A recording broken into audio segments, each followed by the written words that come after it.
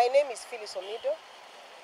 I'm the Executive Director, Center for Justice, Governance and Environmental Action, and I'm an, an environmental activist. I have worked on the case of Owino Uhuru since 2009, where I exposed the issue of exposure to lead poisoning for the Owino Uhuru community. I have brought this case before the Land and Environment Court after I had exhausted all other methods.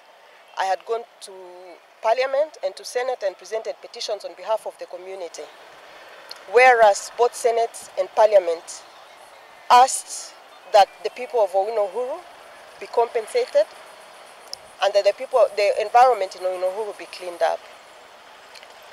The state agencies responsible have ignored the issue of Owino Uhuru and the people of Owino Uhuru have continued to die. We know that we have lost more than 300 children and 50 adults to lead poisoning in Owino Uhuru. Many of you have seen, have covered this case, sometimes at the mortuary when children died or women died. You have covered this case through the years. It is very disheartening that a few incompetent individuals can decide to take away justice from the people of Owino Uhuru for no reason at all. If you read the judgment that was rendered today, uh-huh. they have upheld all the prayers that we sought. They have said that the Owino Uhuru community was exposed to lead poisoning. They have said that the Owino Uhuru community deserves to be compensated for what they have termed as a disaster that happened in that community.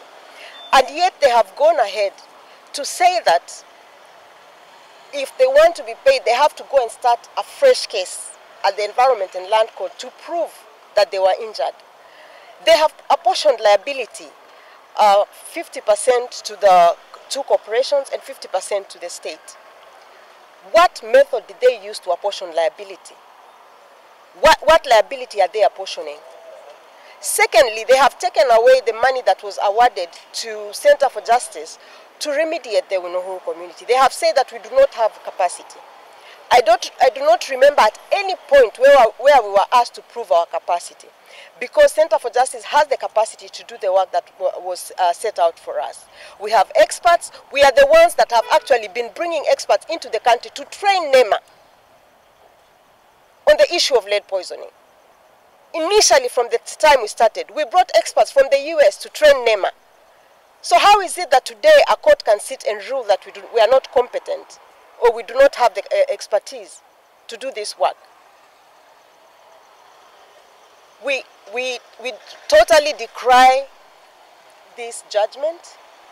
The people of Owino Uhuru are disheartened. I have been talking to them ever since this judgment was rendered. Many have lost hope.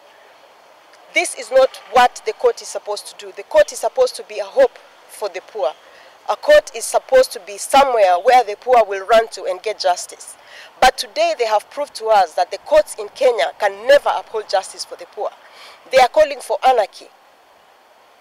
Because what do people do when they have buried their children, buried their wives, and yet someone tells them that they do not deserve justice? What else do they want the people of Owino Uhuru to do? The people of Owino Uhuru have upheld the law. They have sought all legal means to resolve this issue. But it looks like it's not possible to get justice through legal means here in Kenya. So we are going to weigh our options from now onwards. How do we want to get justice for the people of Owino Uhuru? And that is what we are going to do from tomorrow. Thank you. Way forward. So the way forward is that from tomorrow, from tomorrow we are going to be having uh, civil disobedience and protests. We, we have we have followed the law up to now. We are no longer going to follow the law. Let them come for us. Let them come for us. Let them come and pick each one of us because it will not be the first time.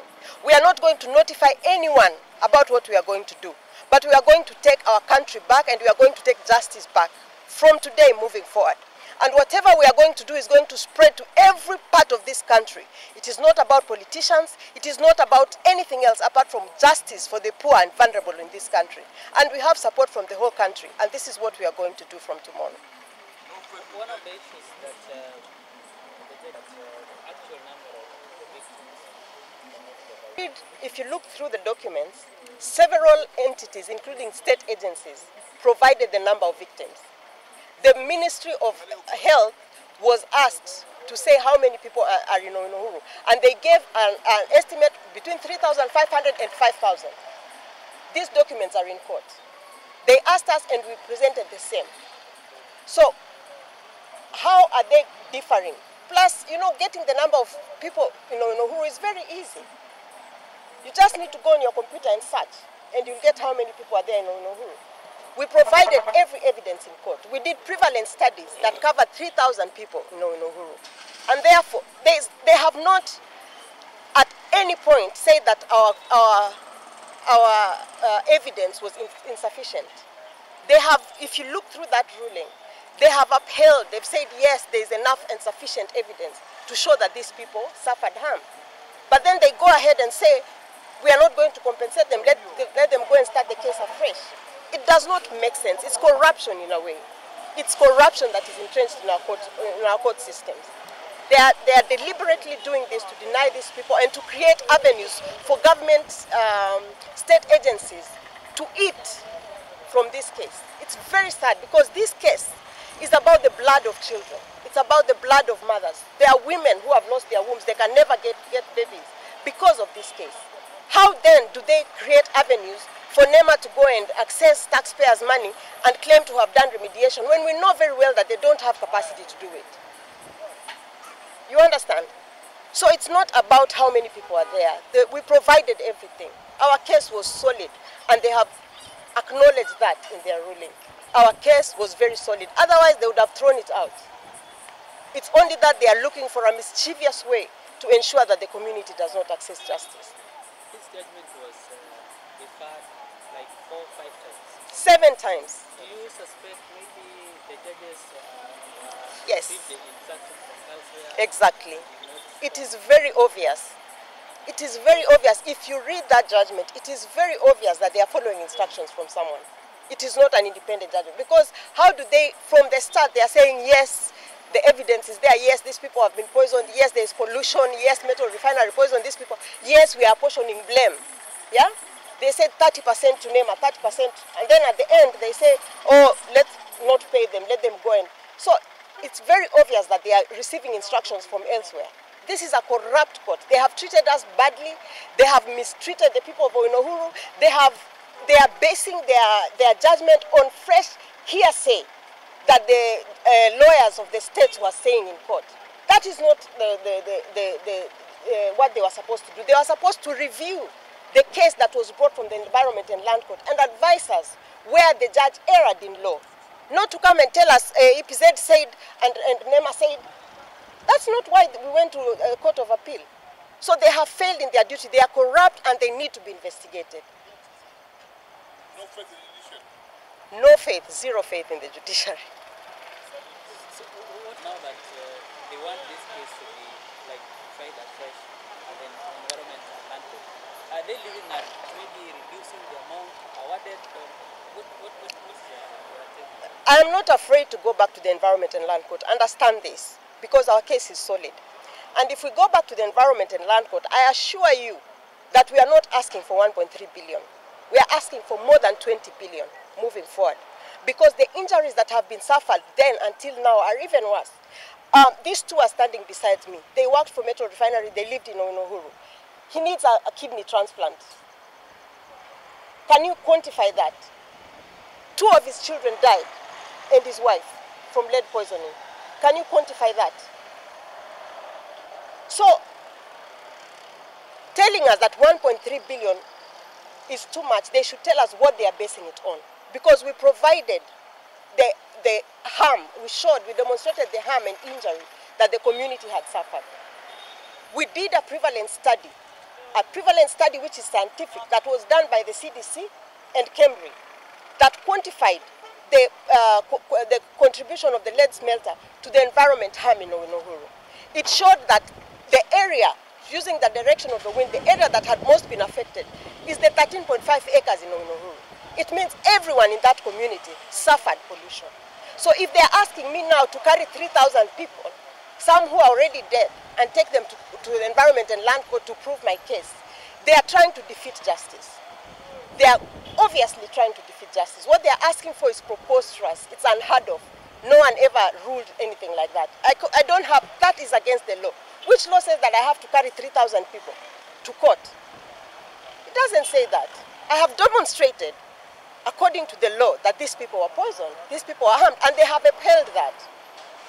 But they are obviously under instructions to ensure that that 1.3 is overturned by their masters.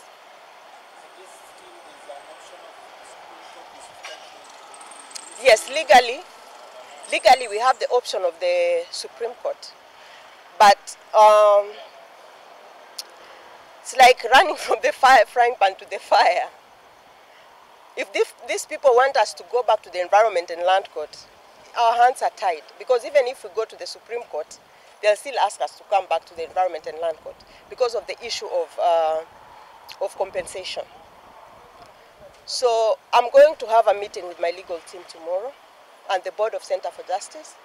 And then we are going to decide whether we are going to put one case at the Supreme Court and one case at the Environment and Land Court. One um, at the Supreme Court to challenge the decision of uh, the Supreme Court, uh, of the Court of Appeal, to apportion 50% liability to a non-existent company. That is very mischievous. So we are going to challenge that. The other thing we are going to challenge at the Environment uh, and Land Court is, uh, is the 1.3 billion and how we, we managed to, because our initial ask, if you all remember, when we were going to court was 2 billion.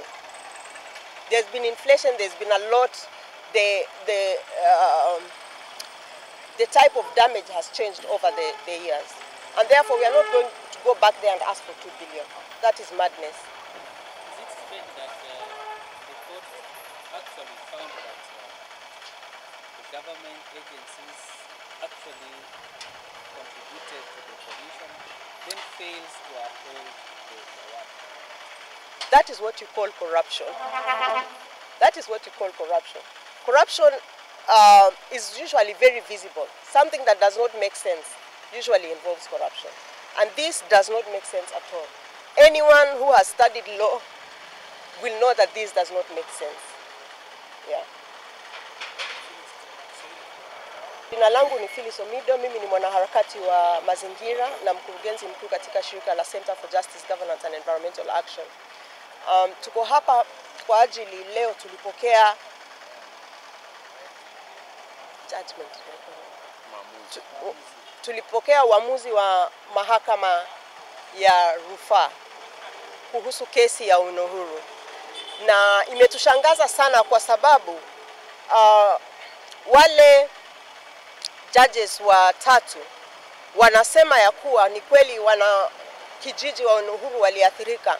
Wanasema ni kweli kuwa mashirika ya serikali yalichangia kuathirika kwa watu kuathirika kwa watu wa Unuhuru, lakini pale chini wanarudi wanasema hawawezi kupeana fidia kwa watu wa Unuhuru kwa maana wanataka watu wa Unuhuru warudi tena katika koti ya ya um, mazingira waende kuonyesha ni vipi waliumia ili hali kesi tulipoweka kotini mara ya kwanza ilionyesha jinsi wanakijiji wa Unuhuru waliumia. Kwa hivyo hii kesi um, imetuonyesha ya kuwa hakuna imani na mahakama ya rufaa ya hapa nchini. Tuna tumeona kuwa hii, hii ni u, mischievousness inaitwa nini? Ni ufedhuli wa hali ya juu na tutazidi kupinga hii eh, judgment ambayo tu, uamuzi huu ambao tumepokea leo, na tutaendelea katika mahakama ya Supreme Court ili tusikie ni uamuzi gani ambao tutapewa pale, lakini pia tutaweka makaratasi yetu katika Environment and Land Court ya kuonyesha jinsi wanakijiji wa winohuru walidhurika. Asanteni. kama uamuzi umekataa, rufaa inapaswa kutoka kwa nani? wamesema ya kuwa uh, asilimia hamsini inafaa kutoka katika serikali, mashirika ya serikali ambayo yalichangia katika kuathiriwa kwa watu wa winohuru na asilimia hamsini inatakiwa kutoka kwa hiyo kampuni ambayo ilishafunga na ikaenda. Kwa hivyo hiyo ni kumaanisha kuwa wananchi wa Unuhuru watapata asilimia hamsini peke yake ya ile pesa ambayo itaamuliwa na koti. Ile nyingine tuseme imepotea kwa sababu ile kampuni ya Metal Refinery ilishaenda. Kama kuna wale kama kina Otumu walikuwa na sisi wakati huo, kina Oma wanajua ya kwamba ile kampuni wakati ilikuwa inaenda, tuliambia serikali hawa watu wamepoison Owino Uhuru, msiwaachilie waende. Walifacilitate hawa watu kwenda na wakaandika ripoti safi sana ya kusema ile mazingira haijatafuka, ile mazingira ni safi. Hiyo ndio kwa sababu tuliwashtaki, na leo hii imekuwa ni mahakama inawatetea wao tena na kuweka ile burden kwa wananchi wa Owino Uhuru warudi tena miaka ingine kadhaa kotini. Ile haifai, si haki. Hamtaki watu waongee. Eh, tutakuwa pale barabarani kesho. They are doing it just to please.